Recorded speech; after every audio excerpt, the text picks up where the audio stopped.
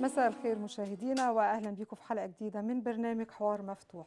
النهارده آخر يوم في 2020 أحب أقول لكم كل سنة وأنتم طيبين كل سنة والقيادة السياسية لمصر بخير وسلام كل سنة والعالم كله بخير وسلام وصحة لأن أهم حاجة هي الصحة. النهارده هنتكلم عن الفومو وإدمان الإنترنت. وهيكون معايا النهارده ضيفي دكتور محمد حمزة دكتوراه في القانون والاقتصاد كلية الحقوق جامعة عين شمس. أهلا بحضرتك يا دكتور. أهلا وسهلا بك كل سنة وحضرتك طيب. وحضرتك بالصحه والسلامه شكرا. آه ظهر مؤخرا مصطلح الفومو آه مصطلح مش مش مفهوم. إحنا عايزين بطريقة علمية تعرفنا يعني إيه الفومو بسم الله الرحمن الرحيم. اولا برحب بحضرتك وبالساده المشاهدين تسلم. وكل سنة وأنتم طيبين وعام سعيد وجديد عليكم إن شاء الله. يا رب. و... وتأدي الأزمة دي على خير. يا رب.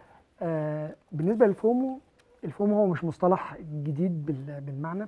هو FOMO آه اختصار لكلمة fear of missing out أو. الخوف من فوات الشيء أو ضياعه. يعني الواحد يبقى قلقان جدا عنده اضطراب إن الحاجة دي ممكن تفوته. مع طبعا الثورة ثورة الاتصالات والثورة الرقمية والمواقع التواصل الاجتماعي وتعلق الناس الكبير بمواقع التواصل الاجتماعي فاصبح عند الناس هاجس إن هي تبقى خايفة طول الوقت إن في معلومة أو في تفوتها. صورة أو في أي حاجة تفوتها من على الموبايل أو مم. من على ال social media. فدايما متابعة ال social media بوقت اللي هو يعني مش قادرة تسيبه من إيديها عشان ما تفوتهاش أي حاجة. ده حقيقي. طبعا. التليفون في ناس تليفون في إيديها طول الوقت. مم. يعني عايزة أقول بطريقة هستيرية. ما هو ده ال FOMO. تمام. هو ده ال FOMO. هو خايف إن أي حاجة تفوته. هو طيب. خايف حاجة تضيع منه يعني. إيه السبب الرئيسي لظهور ال FOMO؟ إيه اللي خلى ده بقى موجود في حياتنا؟ هو الت- التعلق الزائد عن اللزوم. وبعدين فكرة إن في ناس كتير عندها اضطراب وعندها وحدة وعندها خوف وعندها قلق وبتخاف إن هي تواجه المجتمع أو تخاف إن هي تعمل علاقات اجتماعية آه، حقيقية فبتميل إلى فكرة ال social media أو إن هي تكون تكون صداقات أو تخش في مجتمع افتراضي آه، ما تكونش قلقانة ما تكونش خايفة وهي بتتكلم مع الناس عايزة تتابع حياة الناس. طبعا بالإضافة إلى إن كتير قوي من الناس عندها فضول إن هي تعرف حياة الناس كلها ماشية إزاي دلوقتي. واللي بيساعدهم على كده الناس اللي بتبدأ تفصح عن معلوماتها على مواقع التواصل الاجتماعي بشكل بشع هم أي حاجة حد بيعملها دلوقتي لازم يرفعها على الفيسبوك سواء story بقى سواء story سواء آه status سواء ايا كان post منشور. لازم يرفع هو بيعمل إيه رايح فين بيشعر بإيه بيحس بإيه إيه اللي عنده دلوقتي آه رايح فين جاي منين. يعني في ناس بتستخدم ده في شغلها. في ناس بتستخدم ده آه، بعقل أو بتوازن لكن. في ناس بتستخدمه يعني بطريقة مفرطة من غير أي مبرر ومن غير أي أنت شايف إن ده صح ولا غلط يعني انهي اللي صح فيهم إن, إن أنا أستخدم ال social media بطريقة هستيرية إن أنا كل أخباري على النت كل معلومه طبعا. عني إيه، ده أنا شايفة يعني إن هو ده سلاح ذو. حدين ده آه. أكبر خطأ. ده أكبر خطأ هي فكرة هو ال- ال- ال social media لما كانت موجودة كانت موجودة عشان تقرب البعيد. مش تقرب القريب. يعني أنا أنا يعني أنا أخواتي و- ومراتي وأبويا وأمي والناس اللي هي جنبي في البيت دلوقتي الناس بقت بتكلم بعضها من على الواتساب. بتكسل حتى تقعد مع بعض. الناس اللي بتبقى قاعدة مجموعة في عزومة ولا في حاجة كل واحد ماسك موبايله. فهو معمول عشان التواصل ال- البعيد. اللي هو يعني مش هينفع يكون في تواصل مادي فأنا يعني بعوض ده بتواصل افتراضي من خلال ال- الإنترنت. آه، لكن الموضوع استخدم بشكل خطأ جدا. آه، منظمة الصحة العالمية كانت إن ال- ال- ال- اللي اللي يتخطى معدل 35 ساعة في الأسبوع مم. على الإنترنت أو على السوشيال ميديا فده راجل مدمن مم. مدمن بمعنى الإدمان مم. فإحنا بنقعد 35 ساعة تقريبا في اليوم مش في فعلا الأسبوع لا الناس يعني السوشيال ميديا بقت آه. مؤثرة في حياتنا بطريقة طبعا. خطيرة جدا مع إن المعدل الطبيعي هو 8 ساعات في الأسبوع 8 ساعات في الأسبوع آه ده يعني ده المعدل الطبيعي اليوم. والفير آه آه ده لا في. ناس بتستخدم الموبايل 8 يعني ساعات في اليوم ده كمان ده أقل حاجة ما دي مشكلة. آه. ما هو الفومو من من احد أعراض الفومو إن الواحد يصحى من النوم أول حاجة يعملها قبل حتى ما يتاوب إيده سرحانة تحت المخدة وت- تفتح التليفون على طول الصبح. آه. آه. ليه بقى؟ مم. لأن هو يعني على حسب شخصية كل واحد. مم. في واحد مثلا بيحب إن هو يحط صورة جامدة جدا ليه أو أو مم. خبر فمستني كل ال notification عايز يشوف مين اللي عمل like مين اللي عمل comment مين اللي عمل share لصورته. فطول الوقت كل ثلاث دقائق على الأقل. بيبدأ يدور على الموبايل بتاعه عشان يشوف مين اللي عمل عنده comment أو عمل like أو كده. وفي واحد بيبقى عنده آه، آه، يعني مرض متابعة المعلومات عايز يعرف أي أخبار. بس وخلاص يعني بس, بس على حسب توجهاته يعني مثلا واحد بتاع كورة. هتلاقيه دايما بيدور على أخبار الكورة. بشكل هستيري بشكل FOMO. آه، واحد تاني بيحب آه، يعرف الأخبار بتاعت الناس بس, بس مجرد إن هو فضول. آه يتابع الناس. مم. وده بيعمل مشكلة كبيرة جدا في الفومو اللي هي آه، الشعور بالانتقاص أو الشعور بالنقص أو الحرمان. مم. لأن لما يكون واحد قاعد على سريره وقاعد في بيته شايف حد بيعمل إنجازات كتيرة على الفيسبوك أو على مواقع التواصل وهو زي ما هو قاعد آه فهو أي قاعد بيرصدهم بس. بيتابع بس. وبيصاب بالاكتئاب. هو بيصاب بالوحدة. وبيصاب بالفراغ. لأن مم. هو شايف إن في مجموعات وشايف إن في ناس بتبدأ في ناس. بتعمل آه، إنجازات وبتاخد كبيرة في آه. حياتها وأنا زي ما أنا. وهو قاعد. آه فدي مشكلة من مشاكل الفوم خلاص سيبه. اللي هيضايقني من الموبايل. أسيبه ما أشوفوش.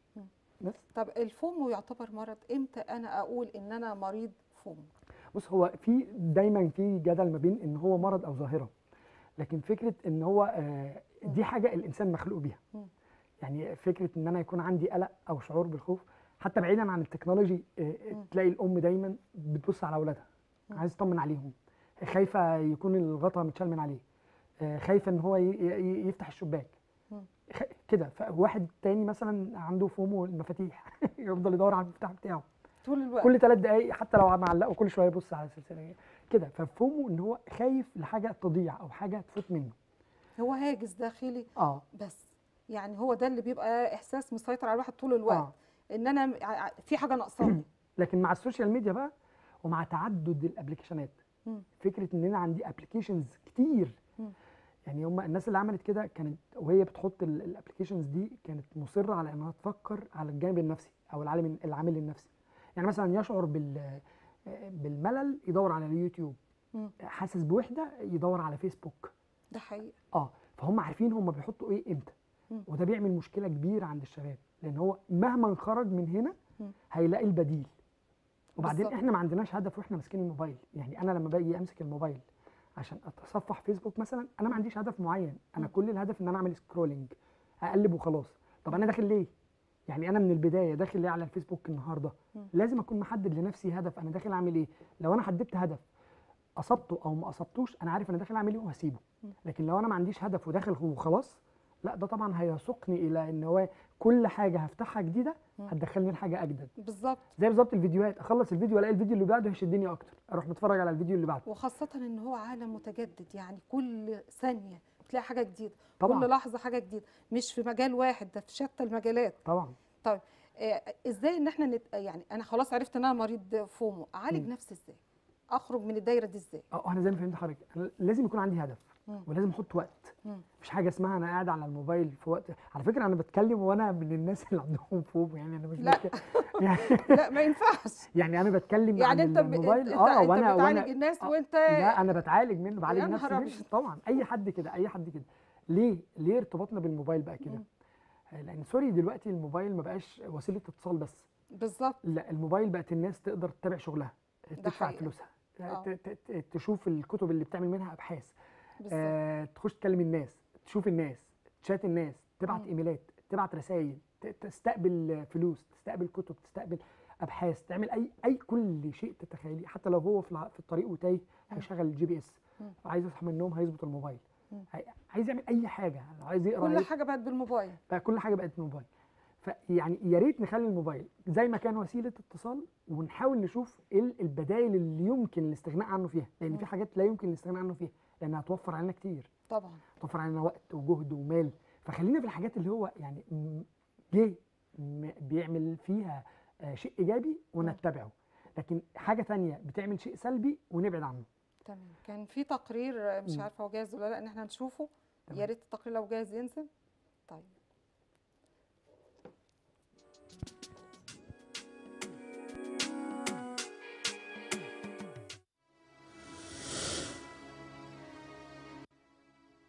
الإدمان بأشكاله المتعارف عليها ودايرته المظلمة اللي بتحوط صاحبها عارفينها. وكمان نقدر نحدد النتائج السلبية اللي بتعود على صاحبها وحافظين في كل حواديت الإدمان في الحقيقة والأفلام إن العلاج للإدمان بيكون بالمنع. أما الفومو fear or missing out ده الجديد في عالم الإدمان الإدمان الإلكتروني لأن أغلبنا بيعتمد على جزء كبير من حياته على الإنترنت. وخاصة بعد جائحة فيروس كورونا ولأن أحد أهم أسباب عوامل الجذب للإنترنت هي السرية أصبح البحث عن الإثارة والمتعة والقضاء على الوحدة والحزن والقضاء على الاكتئاب ونقص مهارات التفاعل بين الناس هم أبطال مسلسل الإدمان الإلكتروني والسؤال المهم هل أطفالنا وشبابنا وإحنا كآباء عندنا أعراض ال FOMO؟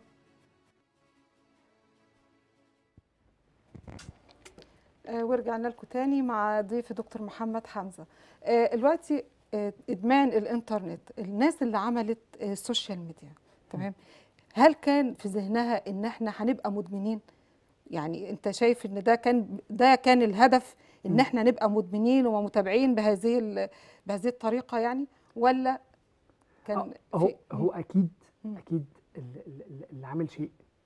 وشيء مجاني. يعني إحنا ما بندفعش فلوس عشان نتابع صفحات الفيسبوك طبعا فاحنا لازم نفكر هو ليه مجاني. لأن لو ما كانش فيه ثمن للمنتج فمعلوماتك هي المنتج أو تمام. معلوماتك هي الثمن لو ما كانش فيه ثمن لل- للمنتج اللي انت بتستخدمه أو الخدمة اللي انت بتستقبلها مم. فمعلوماتك هي الثمن. وإحنا الحمد لله دلوقتي ما فيش حد ما بي ما بيصبحش بمعلومة وما بيمسيش بمعلومة على أكيد. على مواقع التواصل الاجتماعي آه ففكرة الإفصاح عن المعلومات دي دي دي مصيبة مم. يعني دي لوحدها مصيبة يعني بعيدا عن الاختراق وبعيدا عن إن حد ممكن يدخل يعتدي على خصوصياتي وكده إحنا أصبحت خصوصياتنا كلها معلنة على. مواقع آه على مواقع التواصل الاجتماعي ودلوقتي حتى الخناقات الخناقات آه. بقت الناس بتتخانق مع بعضها على مواقع التواصل الاجتماعي الناس اللي لو واحد عايز يضايق حد بدل ما يرفع عليه قضية الأول يشهر بيها على الفيسبوك آه. وبدأت إن هي تبقى حاجة يعني مظهر سيء جدا جدا. ما هو ده الاستخدام الخاطئ بقى. مم. الاستخدام الخاطئ لمواقع التواصل الاجتماعي. آه كل واحد فينا ليه توجه معين بيعمل search على حاجة معينة بي. بيبحث عن حاجة معينة ده كله مسجل يعني تمام ده كله معروف عن. الشخص اللي بيستخدم. صاحب الحساب ده آه بناء عليه بيتم توجيه إعلانات. إعلانات ليه عن المنتج اللي هو بيحب يدور عليه أو عن ال... ال- ال- الحالة النفسية عن هواياته عن الحاجات اللي بيحبها آه وده اللي الناس بتشوفه دلوقتي الواحد مثلا يعني أنا بكون بتكلم معاكي في حاجة معينة آه لدرجة إن هو بيبدأ إن هو. يصدق. إن السوشيال ميديا ده معمول عشان هو بس الله ينور عليك وهو ده الغرض أصلا. إنه بتاعي أنا. آه هي فكرة ال- ال- ال- اللي بيصمم ال applications دي. أو اللي بيصمم ال sites دي بيبقى أهم حاجة عنده إنه يقنع كل واحد إن الفيسبوك ده أو اليوتيوب ده أو الكلام معمول عشانه هو بس. هي مش صدفة. هي مش صدفه مش صدفة إن أنا دايما ألاقي الحاجة اللي أنا بحبها. بالظبط. يعني هي مش صدفة إن أنا دايما ألاقي ال videos المقترحة ليا هي ال videos اللي أنا دايما بدور عليها. لا ما هو ده الناتج عن إيه؟ ناتج عن search ناتج عن like لبيج معينة أنا كنت عامل عليها لايك قبل كده. ناتج عن comment أنا كنت عامله على حاجة معينة فخلاص اتسجل في البصمة الإلكترونية بتاعتي إن أنا بحب الحاجة دي يعني طول. الوقت إحنا بنتراقب وبنترصد في كل صغيرة وكبيرة طبعا هي فكرة إن أنا يعني أنا أنا في حاجة اسمها البصمه الالكترونيه كل واحد صاحب account أو صاحب جهاز. معين بيبقى عنده بصمة إلكترونية آه، لما بخش على جوجل ببحث عن حاجة معينة آه، ممكن ألاقي وأنا على الفيسبوك دلوقتي إعلان نازل. بيتكلم عن نفس الحاجة اللي أنا دورت عليها هنا أخش على تويتر أعمل تغريدة معينة ألاقي في فكل المواقع دي في حاجة في. الآخر اسمها البصمة الإلكترونية البصمة الإلكترونية دي اللي هي بتبقى تابعة لتوجهات كل واحد واستخداماته هو رايح فين هو بيحب إيه هو بيفكر في إيه.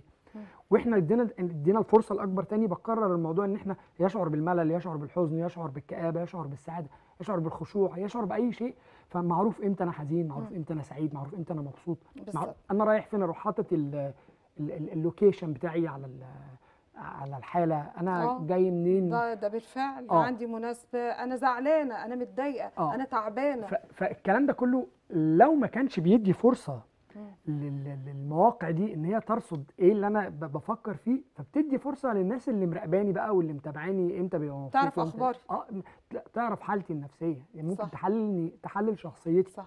ومن خلال تحليل الشخصية دي يقدر يدخل لك من أي مدخل هو عايزه. زي ما هم بيعملوا بالظبط دلوقتي. الشركات آه آه. بيبدأ يشوف توجهات إيه ويروح باعت المنتج مم. وأكبر تجارة في العالم دلوقتي هي التجارة الإلكترونية. ده حقيقي. وأكبر تسويق موجود دلوقتي هو التسويق الإلكتروني. وخاصة بعد كورونا بقت ناجحة جدا آه. وراج... آه، بقت دي- رائجه جدا. آه دي كانت آه، فترة كورونا إيجابية خدمتها. آه فترة إيجابية جدا على الناس اللي بتستخدم الأونلاين. بالظبط. ليه؟ لأن الناس كلها قعدت في البيت. والناس كلها ما بقتش فاضية غير للموبايل. وغير للكمبيوتر. بدل ما الناس كانت تقعد تاخد دورات بقى وتاخد وتقرا كتب وتتفرج على حاجة مفيدة لا كله دخل على مواقع التواصل الاجتماعي يعمل ترندات ويعمل حاجات كانت غريبة بجد يعني. أنا ما كنتش متخيل الناس تستخدمه بالاستخدام المفرط على الفاضي ده. لا ده كان وقت يعني ده بس كان أكيد يا دكتور في ناس يعني ده الناجح آه ده أنا- استفادت من الفترة دي. بكتير. آه، في ناس اتعلمت. قرأت أكتر. بالظبط اتعلمت. آه. في ناس خدت خطوات في في حياتها. مم. يعني عايزه أقول لحضرتك إعادة ترتيب حياتها من أول وجديد. وفي ناس شغلها نجح جدا في الفترة دي. يعني مثلا مراكز التدريب اللي هي كانت بتدي تدريب عادي بدأت تدي تدريب أونلاين. ال- ال- الشركات اللي كانت بتبيع في التجارة العادية بدأت تركز قوي في التجارة. الاونلاين بدأت بالظبط. إيه إيه المنتجات اللي الناس محتاجاها في الوقت ده بالذات. زي مثلا الكمامات زي مش عارف طيب أنا مش آه. هقطعك إحنا عايزين. نتكلم عن الجانب الإيجابي لأن أنا جاي الاتصال على الجزئية دي آه اتصال مهم جدا حضرتك تقول لي بقى إيجابيات الإنترنت لا إيجابيات الإنترنت كتير مم. الإنترنت سهل علينا كل حاجة مم. يعني إحنا لو فكرنا كده في كل الاستخدامات اللي إحنا كنا بنستخدمها أو الأشياء اللي إحنا كنا بنفعلها مم. قبل وجود الإنترنت بعد وجود الإنترنت قد إيه اتسهلت قد إيه بقت بسيطة أنا دلوقتي لما كنت عاوز أبسط شيء للناس اللي هي البسيطة خالص لما كان بيعوز يدفع فلوس لأي حد اللي بيدفع جمعية ده دلوقتي بيدفعها من على النت طيب، من هستوقفك. آه. آه، معانا اتصال من مصطفى شعلان من دمنهور. ألو؟ ألو السلام عليكم. ألو عليكم السلام. الصوت الصوت إحنا عايزين الصوت مش واضح في الاستوديو. ألو تمام كده؟ الصوت مش طالع. ألو السلام عليكم. وعليكم السلام. ازيك يا مصطفى؟ الحمد لله ازيك يا برحب بحضرتك. أهلا بيك. مبروك. العودة للجامعة. مبروك إن أنت رجعت الجامعة النهارده. ربنا يخليك يا رب. شكرا شكرا. كل آه،. مصطفى طبعا أكيد حضرتك متابع يا دكتور. مصطفى شعلان الطالب آه، دمنهور اللي كان تم فصله بسبب إن هو شاف آه، يعني مشهد غير لائق في الجامعة تكدس الطلبة في ظرف كورونا. فرئيس الجامعة لما هو مصطفى اعترض آه، فصله. آه، مصطفى تقول لي آه، يعني التواصل الاجتماعي فادك في إيه في في ال- في الظرف اللي أنت كنت فيه ده؟ لا لو سمحت كده معلش. سامعني؟ أيوه أيوه. أستاذ مع حضرتك معلش بس شوية معلش. بقول لك وسائل التواصل الاجتماعي وصلت صوتك بسرعة في الفترة اللي أنت كنت فيها دي إزاي؟ فادتك؟ أيوه بصراحة يعني وضح لي ده يا مصطفى. معايا.